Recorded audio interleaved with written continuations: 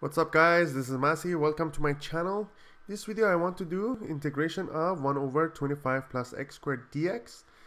First thing I need to do, I factor 25 from the denominator, so it will be 1 plus x squared divided by 25 dx, or it will be 1 over, I can put 25 outside, it's going to be 1 plus x divided by 5 squared, and we have dx here.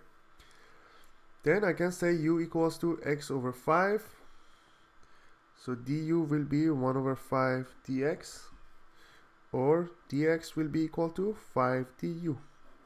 So instead of dx I write 5 du so it's going to be 1 over 25 and then I will have 5 du over 1 plus u to the power of 2. So then 5 is going to go there. It's going to be 5 divided by 25. If you reduce it, it's going to be 1 over 5 du divided by 1 plus u squared.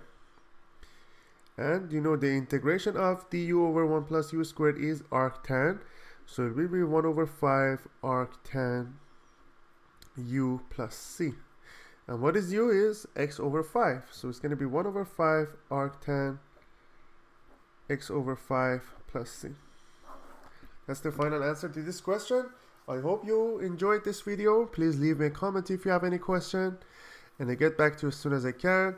And please don't forget to subscribe this channel. I will be back with another video very soon.